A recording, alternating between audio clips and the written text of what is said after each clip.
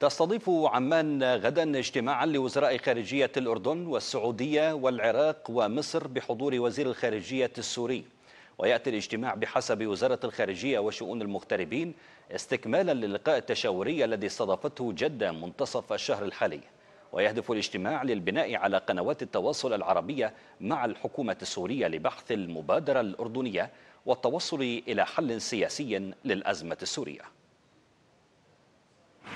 مع الفاجعة المفاجئة التي ضربت سوريا وتركيا بداية شباط الماضي عادت الروح الدبلوماسية في العلاقات العربية مع دمشق. فالأردن كان سباقا في ذلك حتى ما قبل الكارثة الجغرافية إذ إن العامل الجيوسياسي بين عمان ودمشق كان مؤثرا على الأردن ولا يزال في عديد من الجوانب. قد لا تنتهي عند أزمة اللجوء أو العلاقة الاقتصادية والزراعية والسياحية العريقة بين الجارين الأردن وسوريا. وترجمة لذلك تجتمع طاولة دبلوماسية في عمان بين وزراء خارجية الأردن والسعودية والعراق ومصر بحضور وزير الخارجية السوري لاستكمال ما بحثوه في جدة قبل نحو أسبوعين. فنتائج الاجتماع المرتقب وما بعده ربما يمكن البناء عليها هدف رئيسي واحد هو عودة سوريا إلى الحضن العربي.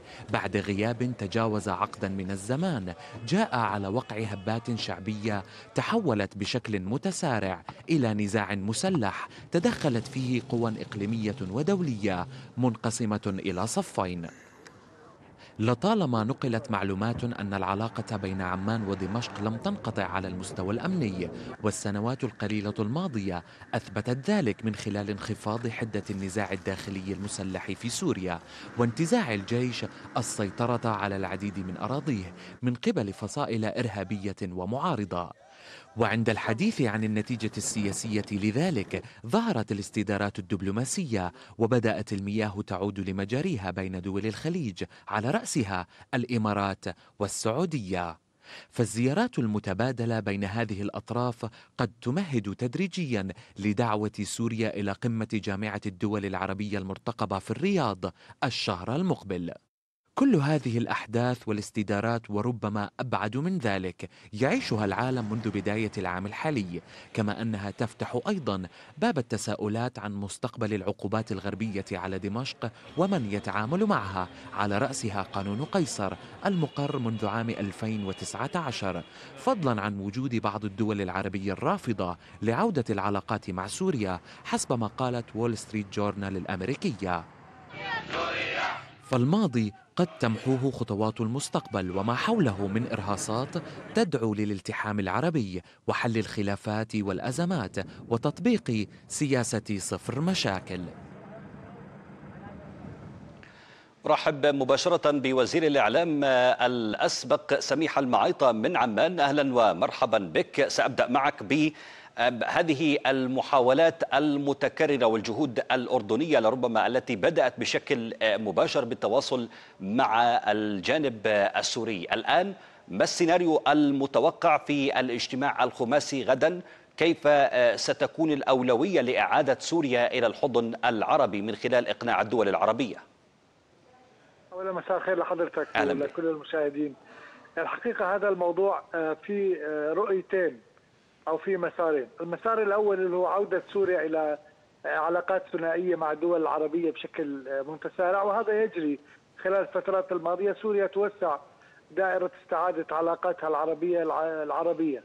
الأمر الآخر عودة سوريا للجامعة العربية والقمة العربية وبعتقد الطريق شبه ممهد لعودة سوريا إلى قمة الرياض التي ستعقد بعد شهر من الآن تقريبا في 19 أيار القادم، يعني في جهد واضح وفي شبه توافق على عودتها إلى الجامعة العربية. لكن هذا المسار يبقى في الإطار العربي ولا يذهب إلى إيجاد حل حقيقي للأزمة السورية. الأردن لديه تصور ربما أوسع من ذلك، الأردن مع عودة سوريا إلى الإطار العربي والأردن على الصعيد الثنائي أيضا هنالك علاقات جيدة بين سوريا والأردن وهنالك تواصل دائم حتى خلال الأزمة، لكن الأردن يؤمن كذلك أنه لابد من عودة سوريا إلى الإطار الدولي. والسبب أنه سوريا حتى تتخلص من العقوبات تتخلص من قانون قيصر تتخلص من المقاطعة التي تفرض على الدولة السورية من قبل برلمانات وحكومات أوروبية والولايات المتحدة وأن, وأن نتحدث بعد ذلك عن عودة اللاجئين عودة آمنة طوعية وعن إعادة الإعمار وعن إنقاذ الشعب السوري من أزمة اقتصادية هذا لا يتأتى فقط بالعودة العربية يحتاج أيضا إلى فتح الطريق أمام سوريا للعودة إلى إلى المجتمع الدولي. طبعا في المقابل هذا أيضا يفرض على الدولة السورية أن تذهب باتجاه يعني خلينا نقول خطوات بالحل السياسي وخطوات بالانفراج السياسي مع شعبها ومع القوى ومع الدول في العالم. نعم. فالأردن يعني لأنه إحنا المسار العربي بعتقد إنه أصبح شبه ممهد لكن لا يكفي ولا ولا ولا يفك يفكك عقد الأزمة السورية الأساسية. إحنا نعم. نحتاج يعني على الرغم من الحديث نعم. سيد سميع على الرغم من الحديث بأنه الطريق ممهد للعودة للحضن العربي هناك بعض الإشارات وبعض المراقبين لربما يتحدثون عن عودة والسؤال هل هي عودة فردية ستكون أو عودة جماعية؟ وهل ستجد هذه الدول التي أخذت زمام المبادرة آه، صعوبة في إقناع باقي الدول العربية بالفعل بعودة علاقاتها مع سوريا على مستويات كما كانت عليه ولربما أكثر من ذلك. هل هذا الشيء مطروح فعليا؟ شوف أنا ذكرت لحضرتك إنه هي شبه ممهدة لأنه في ما زال في عوائق وفي دول متشددة تجاه علاقاتها بالنظام السوري. لكن إحنا بنحكي عن مسارين كمان. بنحكي عن العلاقات الثنائية بين هذه الدولة وسوريا وتلك الدولة وسوريا وبين عودة سوريا للجامعه العربية. ربما هنالك دول لا تريد أن تعيد علاقاتها الثنائية مع مع النظام السوري ومع الدولة السورية، لكن ربما تفتح الطريق ولا تمانع أو لا تقف عائق أمام عودة سوريا للجامعة العربية، فهذا هذول مسارين مختلفات. يعني عودة سوريا أو حضورها القمة العربية القادمة في السعودية لا تعني أن كل علاقاتها العربية الثنائية ستعود كما كانت، هناك نعم. دول تتحفظ وترفض إقامة علاقة ولديها ما زال مأخذ على يعني أداء النظام السوري فيما يتعلق بالفترات الماضية، لكن كما قلت هذا المسار بعتقد إنه شبه ممهد، الدول العربية الفاعلة المهمة في الإطار العربي اليوم كلها تميل لعودة سوريا وتزور وزارة دمشق واستقبلت مسؤولين سوريين. وغدا بالاجتماع بعمان وزير الخارجية السوري سيكون موجود، سيكون موجود ليستمع إلى إلى خلينا أقول مجموعة من الأمور التي يجب على الدولة السورية أن تقوم فيها حتى تستطيع أن تفتح الأبواب لها نعم. مع المجتمع الدولي لأنه هذا أمر مهم. لأنه السوريين يعني لازم يفكروا بطريقة أنه أنت مش بتقطف بس مكاسب في علاقاتك العربية وبتفتح المجال مرة ثانية لا. كمان عليك أن تقدم اثمان حتى تستطيع أن تستعيد حضورك العربي والدولي والإقليمي بشكل كامل. بالحديث عن الأثمان بالحديث عن الأثمان التحركات الأخيرة السورية من يتابع؟ لربما نتحدث عن اتجاه وانفراج وربما فتح جديد لبداية علاقات سواء مع السعودية أو الإمارات أو غيرها من الدول. نتحدث لربما مؤخرا عن ارتباط وتقارب تركي سوري أيضا ارتباط إيراني سوري نتحدث عن إيراني سعودي كل هذه المتغيرات في هذه المنطقة. هل فعليا هي أثمان آه، ستدفعها سوريا والبعض يتحدث بأنه العودة الطوعية لسوريا إلى الحضن العربي يجب مقابلها أن يتم الاستغناء عن آه، آه، إيران في هذه المنطقة وتحديدا كلاعب أساسي في سوريا هل ستستطيع سوريا إيجاد هذه الموازنة فعليا وتقدمها إلى الطرف العربي؟ شوف خلينا أقول لما بجوز مصطلح أثمان البعض يعتقد شروط عربية نعم أو شروط نعم. أردنية لا إحنا بنحكي عن متطلبات خلينا أقول حتى يعني آه، آه، تتخلص من تتخلص سوريا من العقد الموجوده في علاقاتها الدولية، لكن مثلا خذ الأردن على سبيل المثال. الأردن لديه مشكلتين أو قضيتين أساسيتين يسعى لحلهم مع مع سوريا، الأولى متعلقة بإيران ليس بالوجود السوري الإيراني بسوريا، لأنه إحنا قد لا نستطيع أن نفرض أو على العرب أن يفرضوا على سوريا أن تخرج إيران، وقد النظام السوري كله قد لا يستطيع اليوم التخلص من الوجود الإيراني بسوريا لأن الإيرانيين حفروا أساسات وحفروا بنى تحتية ثقافية وعسكرية وأمنية لهم في سوريا. لكن أنا كأردن على سبيل المثال أنا بطلب من سوريا أن تحمي حدودها وأن توقف حرب المخدرات الموجودة الطائفية من الميليشيات الإيرانية على الأردن. لكن هو بقيم علاقات مع إيران في داخل سوريا هذه قصة تخصه. لكني أنا يجب أن لا أدفع ثمن الوجود الإيراني بسوريا بتهديد أمني واستقراري كبلد زي الأردن، موضوع اللاجئين على سبيل المثال، اليوم عودة اللاجئين. تعرف الأردن عنده وجهة نظر بالعودة الآمنة الطوعية، يعني لم يجبر سوريا نعم. على العودة إلى بلده، لكن هذه تحتاج إلى شروط، هسه سوريا تستطيع أن تسهل العودة شروط العودة على على السوريين في موضوع التجنيد الإجباري العسكري في موضوعات العفو عن ناس مطلوبين في في موضوعات يعني كثير من النقاط المطروحة عربيا على سوريا نعم. بعد هيك بتصير عودة السوريين أسهل من ذلك مه. الموضوع مش سهل يعني خلينا أقول لك آه الإطار الشكلي له عودة سوريا للجامعة العربية بعتقد اليوم هو من من من الاستحقاقات الأسهل لكن الاستحقاق الأصعب تفكيك عقد الأزمة السورية وهذا يتطلب من الدولة السورية اتخاذ خطوات جادة وحقيقية وغير مراوغة نعم. مع العرب اولا وأيضا مع المجتمع الدولي حتى نقول إحنا رحنا لتفكيك هذه الأزمة واستعادة سوريا حضورها ودورها بشكل بشكل أسهل. شكرا لك على كل هذه التفاصيل وعلى هذه المشاركة كنت معنا وزير الإعلام الأسبق معالي السيد سميح المعيطة من عمان شكرا لك.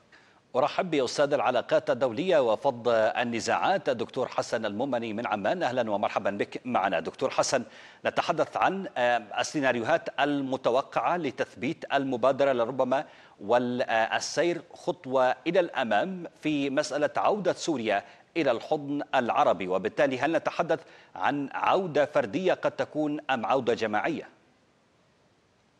آه مساء الخير لك والمشاهدين الكرام. هلا مما لا شك فيه اجتماع غدا بتقدير الخاص هو يعتبر اجتماع جاء على نجاحات جزئية حققتها الدبلوماسية العربية بالاشتباك العربي السوري بهذا الجانب بهذا الاتجاه اللي بتقدير الشخصي تعززت منذ الكارثة الإنسانية وما تلاها من انفتاح واجتماعات في هذا الجانب في هذا الأمر، في الواقع العملي خلينا نتحدث يعني منذ تلك الفترة إلى الوقت الحاضر شهدنا عودة سوريا في السياق العملي والتفاعل مع المحيط العربي لكن في السياق الإجرائي ما زالت. بمعنى أن لم يتخذ قرار رسمي عربي بالإجماع بعودة سوريا في هذا الأمر. لكن ما جرى ويجري الآن ويجري غدا بهذا الجانب أنا بتقدير الشخصي هو نجاح جزئي ويمكن يبعث على التفاؤل بهذا الأمر. ودعنا هنا أوضح يعني دعني أوضح هنا. الغاية والهدف الرئيسي في نهاية المطاف هي ليست مسألة والله عودة سوريا إلى جامعة الدول العربية، العودة من حيث الناحيه الإجرائية هي وسيلة لغاية في السياق الدبلوماسي يهدف إلى خلق عملية سياسية يهدف إلى خلق عملية سياسية تؤدي إلى استقرار سوريا وتؤدي إلى عودة سوريا بسياق كامل ولعب دور في النظام العربي في هذا الجانب. فلذلك هي مسألة العودة جزء من كل في هذا الجانب في هذا الاتجاه وبتقدير الشخصي نعم. قد يكون الاشتباك الدبلوماسي العربي العربي وأيضا العربي السوري بهذا الأمر قد إلى حد ما سهل مهمة ان آه، آه، يتخذ القرار الإجرائي خاصة عند الحديث عن أنه بعد أسبوعين أو أكثر هناك القمة العربية المنوي عقدها في السعودية في هذا الجانب. اجتماع بكرة قطعا بتقدير الشخصي قد يتم آه، البناء على كثير من الأمور قد تتخذ خطوات وتأسيس ما يسمى في خارطة الطريق.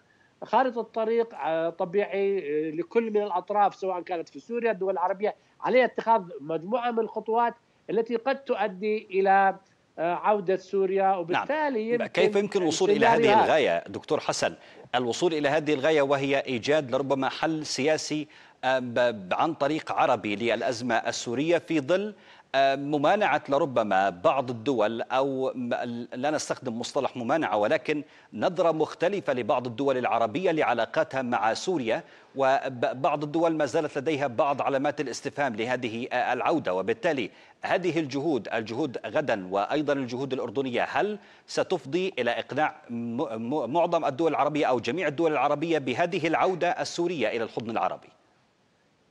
يعني هلا معظم الدول العربية مقتنعة. هنالك بعض الأطراف اللي ما زالت متحفظة على ذلك ومن هون إلى عقد القمة العربية قطعا اجتماع عمان وما يليه.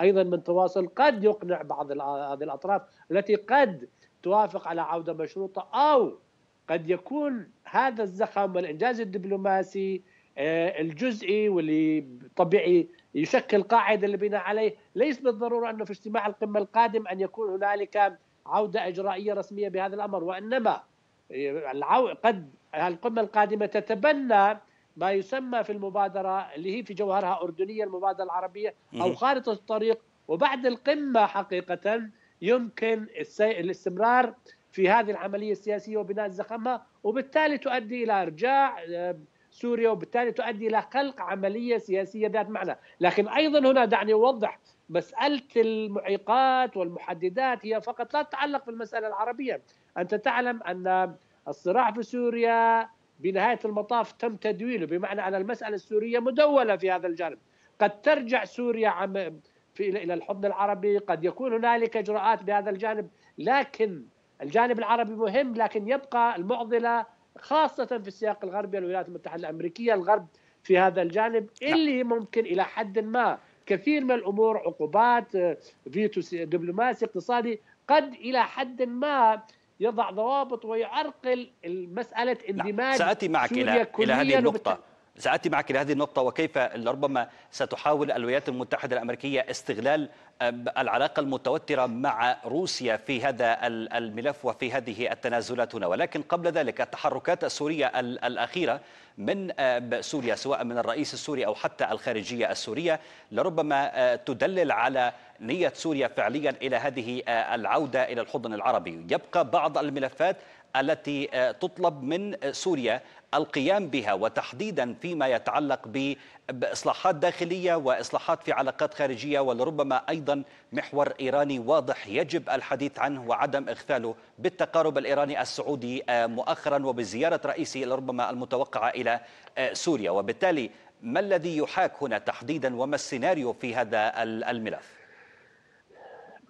لذلك تحدثنا عن المساله أنها عملية عملية تتطلب خطوات تتطلب جهد والمسألة ليست مسألة وقت بمعنى أنه والله الأسبوع القادم أو خلال أسبوعين سوف تنتهي كل هذه العملية. لا على العكس هنالك عملية من خلال اتخاذ خطوات واشتباك دبلوماسي وأشرت إلى الحراك السوري باتجاه الدول العربية والحراك العربي باتجاه سوريا بهذا الأمر. أيضا في هنالك حراك دولي إقليمي. يعني منذ منذ يومين ثلاث انتهت الاجتماع الرباعي ما بين سوريا وبين روسيا وتركيا وإيران في موسكو مثلا بهذا الجانب. نعم. وبتقدير الشخصي أنا بتقدير الشخصي من منطلق براغماتي واقعية سياسية صار هنالك أدراك ويمكن قناعة لدى الرئيس السوري ولدى صناع القرار في سوريا بأنه لابد أن يعني الانتقال أو التحول من مربع اللعبة الصفرية إلى ضرورة أن يكون هنالك عملية سياسية تتطلب تنازلات تتطلب خطوات لذلك إذا بدنا نرجع على المبادرة العربية واللي جوهرها المبادرة الاردنيه تتحدث عن خطوة مقابل خطوة في هذا الجانب. وكثير من يعني يعني لن تكون هنالك تكلفة صفرية مثلا على النظام لا. إذا بدنا عملية ناجحة لابد من أن الأطراف جميعا تتخذ خطوات حقيقة تقنع المجتمع الدولي بأنه في نهاية المطاف المسعى العربي أدى إلى تحريك الوضع الراهن أدى إلى التحول في سلوكيات النظام أدى إلى خلق عملية سياسية سورية في نهاية المطاف أنه في نهاية المطاف قد يؤدي إلى أيضا تناقص النفوذ الإيراني أو تنظيمه أقلها تنظيم النفوذ الإيراني بهذا الجانب بهذا الاتجاه. نعم. فهنا نتحدث عن عملية وقد تأخذ وقت بالمناسبة يعني من هون للقمه وما بعد القمة. لكن المهم هو تأسيس نقطة انطلاق وقاعدة متفاهم عليها الجميع الجميع وعلى مبادئها وأن تكتسب هذه زخما في هذا الأمر. نعم، إلى أي مدى الآن دوليا كما ذكرت سابقا آه، لربما الولايات المتحدة ستبارك هذه العودة وستبارك هذه العملية بإدارة جو بايدن ونظرتها الواضحة لربما سابقا إلى منطقة الشرق الأوسط وإلى النزاعات التي آه، تداخلت فيها آه، المصالح، وبالتالي هنا الدور الروسي في هذه العملية بالإضافة إلى العلاقة الروسية السورية. كيف سيمكن قراءتها من وجهة نظر إدارة بايدن؟ وبالتالي هل ستبقى الضغوطات والقوانين والعقوبات كما هي أم أنه سيتم فعليا مباركة هذه التحركات بشكل آخر؟ أنا شخصيا لا أعتقد أن الولايات المتحدة الأمريكية والغرب سوف يبارك هذه الأمور على العكس من ذلك المواقف المعلنة من أوروبا من الولايات المتحدة الأمريكية هي لا تؤيد التطبيع هي تعارض التطبيع في هذا الجانب في هذا الاتجاه مما لا شك فيه. يعني واحد من تعقيدات الواقع السوري هي مسألة الاستقطاب الدولي والآن يمكن مسألة التحول في القوة التنافسية موضوع روسيا أوكرانيا موضوع الصين قد يعقد هذا المشهد إلى حد ما. وبالتالي بتقدير الشخصي يجب أن يكون هنالك صبر استراتيجي دبلوماسي للتعاطي مع المسألة السورية وان مسألة المعارضة الغربية وكل هذه الأمور. الواحد ممكن يراهن على تآكل يعني عن طريق الوقت وعن طريق تحقيق إنجازات وتقديم تنازلات وإنتاج عملية سياسية. تعمل تدريجيا. مع مرور الوقت قد تتآكل قد يتآكل الموقف الأوروبي قد يتآكل الموقف الأمريكي وأنه في نهاية المطاف قد تصل أمريكا وأوروبا إلى قناعة بأنه لابد من الاعتراف بالأمر الواقع لكن على المستوى القصير لا أتوقع بهذا الأمر على العكس من ذلك أوروبا والولايات المتحدة ولا تنسى أن مسألة صنع القرار في أمريكا في الولايات المتحدة الأمريكية متعددة في هنالك رأي عام في هنالك برلمانات في في في كل هذه الجوانب وكل هذه الاتجاهات نعم. لكن قطعا عودة سوريا وعمل عملية سياسية ناجحة يعتبر نجاح متقدم في التعاطي مع المسألة السورية ولا تنسى أن المسألة السورية المجتمع الدولي تعاطى معها في مسارات مختلفة ولم تؤدي الغرض.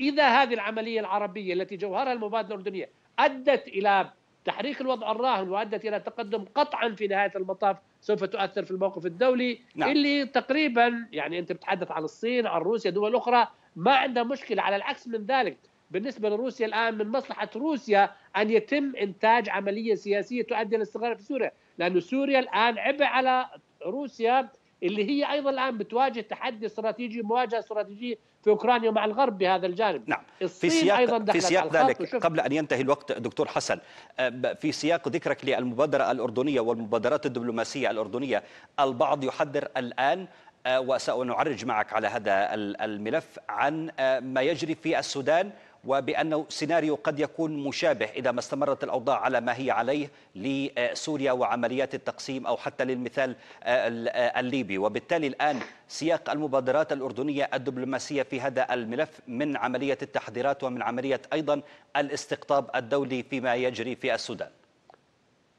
مما لا شك فيه أخي العزيز هنا في الموضوع الدبلوماسي. الاردني نتحدث عن الأردن كمدرسة دبلوماسية فاعلة لها إطلالات على مختلف القضايا. وهي من المفروض أن يعني النظام الإقليمي العربي وأيضا الدول على الصعيد العالمي بتقدير الشخصي استفادت من تجارب الأزمات اللي حصلت والصراعات اللي حصلت في المنطقة بهذا الجانب، الكل تأذى من ما جرى ويجري في سوريا في العراق في غيره في ليبيا في كل هذه الجوانب، فلذلك يفترض من المفروض أن يكون هنالك نهج مختلف للتعاطي مع السودان اللي هي الآن لغاية الآن تتجه باتجاه مسألة تصعيد وحرب أهلية في هذا الجانب، فلذلك الخبرات الأردنية المبادرات الأردنية قد يتم الاستفادة منها. لكن هنا دعني خلينا أشير أن نعم. بالنسبة للأردن والسياسة الخارجية الأردنية السودان مهم لكن بالنسبة للأردن أولوية هي سوريا بهذا العمر على الأردن السودان مهم والأردن يرتبط فيه علاقات وكل هذه الجوانب ضمن النظام العربي. لكن في مسألة أولويات السياسة الخارجية الأردنية أو أولويات الأولويات في هذا الأمر الواقع السوري بالتقدير الشخصي آه، هو أولوية واستثمر الأردن فيه. وبالمناسبة يعني دعني أتحدث أن مسألة المبادرة الأردنية وكل هذه الأمور لم تأتي من أسابيع. الأردن منذ أكثر من عام يعمل على هذه المبادرة وهذا الاشتباك مع كافة الأطراف حتى مع الأمريكان. نعم. يعني يمكن الأردن وجلالة الملك عبد الله الأكثر اشتباكا مع الإدارة الأمريكية. ثلاث زيارات قام بها جلالة الملك عبد الله إلى واشنطن. وقطع الملف السوري كان موجود مع كافة إدارة أركان الإدارة الأمريكية من المشرعين وغيره في هذا الجانب. فلذلك بتقدير نعم. الشخصي المدرسة الدبلوماسية الأردنية يمكن الاستفادة منها وحقيقة مؤشر على فعالية الدبلوماسية الأردنية أن ما يتم الحديث عنه الآن من عمق عربي وسياق عربي يرتكز بجوهره إلى المبادرة الأردنية. شكرا لك على كل هذه التفاصيل وعلى هذه المشاركة كنت معنا.